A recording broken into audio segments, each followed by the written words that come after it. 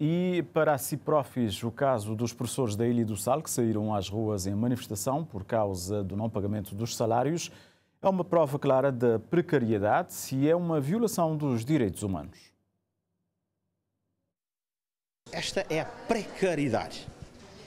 Embora nós dissemos que está-se a trabalhar na questão da, da melhoria para que acabe com a precariedade, nós consideramos que isso ainda precisa ser urgente.